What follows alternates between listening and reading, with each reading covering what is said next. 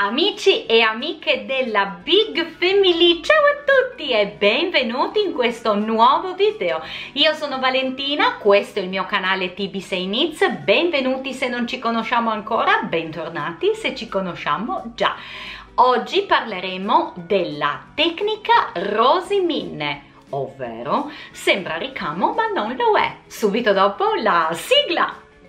Valentina Valentina che cuce la lana, cuce la lana, cuce la lana. Amici, amiche, eccoci a parlare di un video tecnico molto interessante secondo me, un tipo di lavorazione che potrebbe piacervi e potrebbe interessarvi.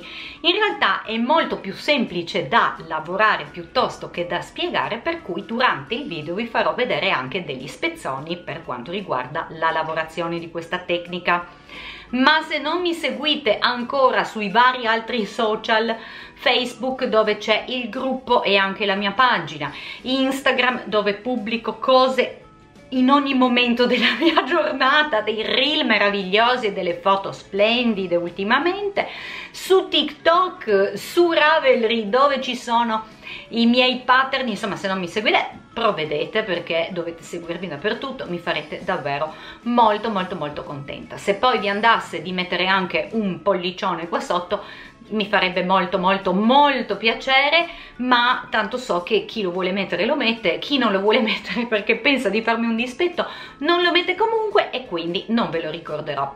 E andiamo subito al dunque. Che cos'è la lavorazione rosimine la lavorazione rosimine è una tecnica estone. La tecnica, l'azione di eseguire questa tecnica si chiama proprio rosiminne, mentre il capo finito con questa tecnica si chiama rositud. Io mi scuso della pronuncia, non so se è realmente questa, faccio del mio meglio, per cui abbiate pazienza e semmai correggetemi. Ma che cosa vuol dire la parola rosiminne? La parola rosiminne vuol dire una cosa del tipo decorare con le rose. Perché le rose? Perché i motivi tradizionali estoni che vengono lavorati con questa tecnica assomigliano vagamente a dei fiori delle rose, per cui molto probabilmente deriva da eh, la, la spiegazione è questa, cioè deriva da questa forma. Questa tecnica viene tradizionalmente applicata soprattutto soprattutto a guanti e calzini, però negli ultimi anni si è praticamente espansa su quasi tutti i capi d'abbigliamento. Come si realizza questa tecnica? Innanzitutto bisogna usare almeno due filati, no?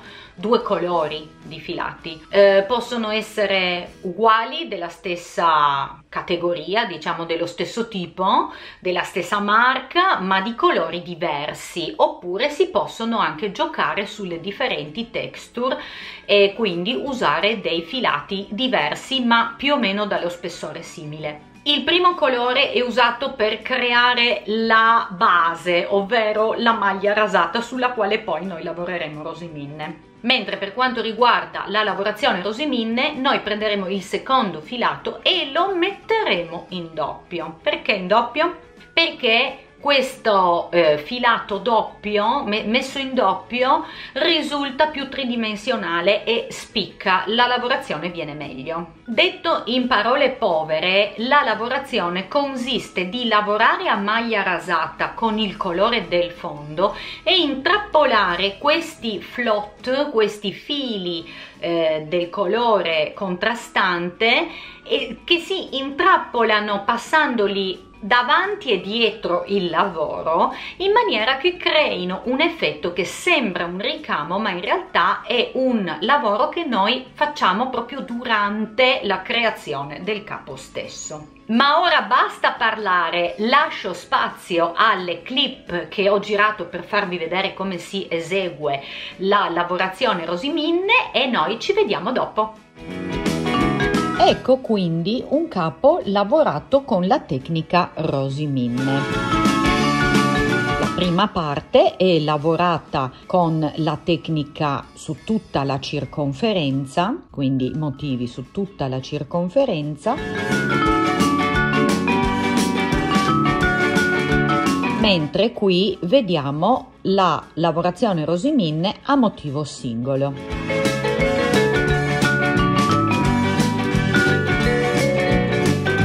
Ecco quindi il grafico che si può trovare come aiuto per la lavorazione. Come tutti i motivi ho evidenziato in verde la ripetizione e invece qui nella parte superiore c'è il motivo singolo che corrisponde. Mi piace evidenziare il fatto che la lavorazione rosiminne è fatta in questo motivo per cui con blocchi di colore con la lettera R che contraddistingue i punti lavorati con tale tecnica. Ecco quindi pronti per la lavorazione i nostri gomitoli di filato. Come vi dicevo in precedenza, ho provveduto a doppiare il filo a contrasto che mh, mm, useremo per fare la nostra lavorazione. Procediamo quindi a lavorare rosimine su tutta la circonferenza. Prendiamo il nostro filo doppiato e vediamo come inserirlo all'interno del lavoro. Non faremo altro che appoggiare il filo doppiato in mezzo alle maglie. La codina va sul dietro e il filo che viene passato avanti e indietro come finto ricamo lo portiamo sul davanti. La codina quindi la infiliamo dentro il lavoro. Ed ecco come effettuare la lavorazione lavoriamo una maglia a diritto, prendiamo il filo doppiato e lo facciamo passare davanti al lavoro e lo incastriamo tra le maglie lavorando la maglia successiva immediatamente a diritto. E procediamo in questo modo, facendo passare il filo doppiato avanti e indietro e praticamente incastrandolo tra le maglie lavorando a diritto.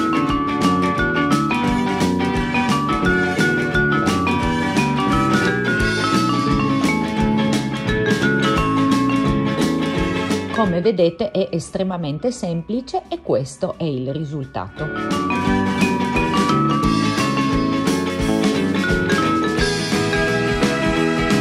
Anche dietro si può vedere lo stesso risultato. Ora continuiamo a lavorare in tondo seguendo lo schema.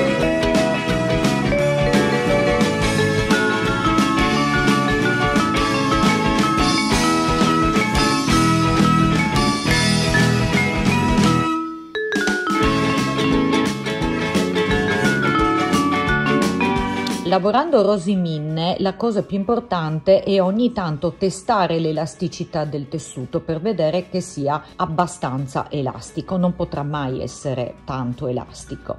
È importante anche regolare la tensione dei fili che passano, dei famosi float, per cui ogni tanto potrebbe essere necessario anche darci una tiratina, come in questo caso. Ribadisco il fatto che il lavoro non potrà mai essere particolarmente elastico perché i fili che passano provocano una specie di tessuto, quindi dobbiamo tenerne conto all'interno della nostra progettazione.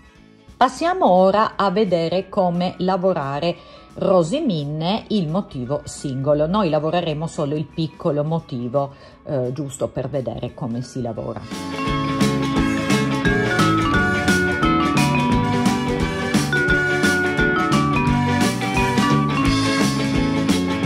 Posizioniamo quindi il nostro motivo in corrispondenza del gambo e lavoriamo a maglia rasata fino al punto in cui il motivo incomincia. E procederemo nello stesso modo, per cui qui dovremo fare solamente una maglia lavorata a rosiminne. Prendiamo il nostro filo, lo facciamo passare come prima tra le maglie, lavoriamo la maglia a diritto e blocchiamo il filo lavorando immediatamente dopo una maglia di nuovo a diritto. A questo punto noi dovremo lavorare tutta la circonferenza fino ad arrivare al punto prestabilito il giro dopo. Notiamo che il filo che noi abbiamo passato con il rosimin si trova sulla sinistra.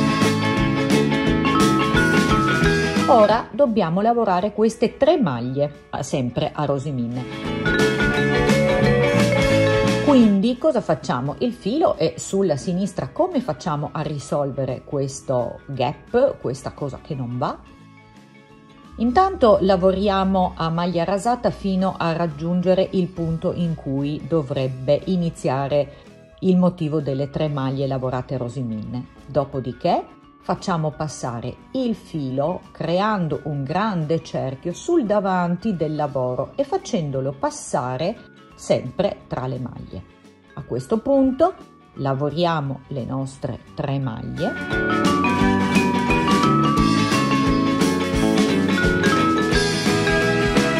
E facciamo passare i due fili passati blocchiamo immediatamente dopo come sempre. A questo punto regoliamo la tensione tirando i due fili e magicamente avremo effettuato la lavorazione corretta.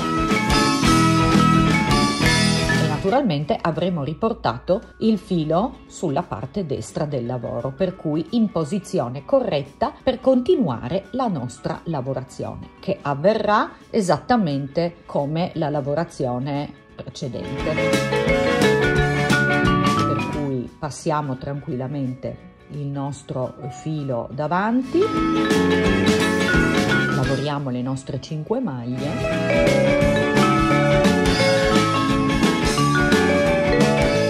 e facciamo passare il filo di nuovo tra le maglie bloccandolo immediatamente lavorando una maglia.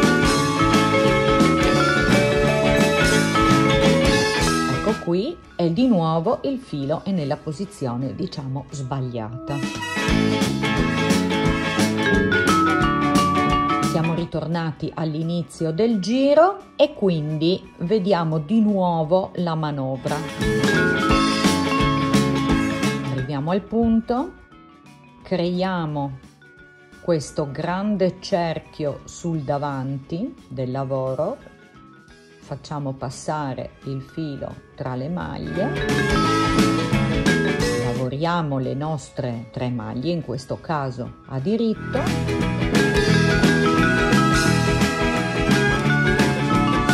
Passiamo di nuovo il filo tra le maglie lo blocchiamo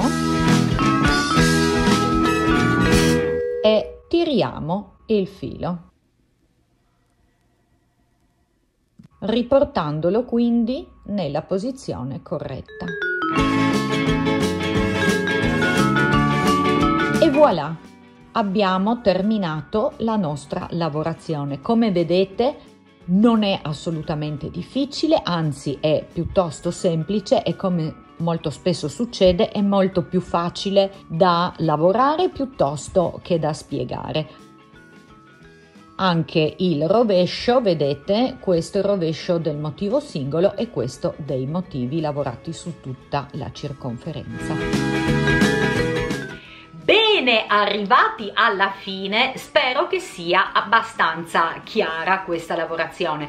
Come avete visto eh, sarebbe stato molto più difficile da spiegare piuttosto che farvi vedere esattamente come funziona. È molto molto semplice ed è anche molto intuitivo e si può usare questa tecnica per lavorare tutti per decorare tutti i capi lavorati in tondo che magari abbiamo qualche timore a eh, lavorare con altre tecniche perché questa si può applicare veramente dappertutto. Oltretutto, detto fra noi, se un giorno uno si dovesse stufare di questo ricamo, non, non fa altro che tagliare i fili, sfilarli in maniera molto molto semplice e da un capo monocolore molto molto semplice. Ma ora smetto di parlare, corro a sferruzzare magari un capo rosimine e invito anche voi a fare altrettanto. Esercitatevi anche su questa nuova tecnica. Io vi saluto e vi do appuntamento al prossimo video. Ciao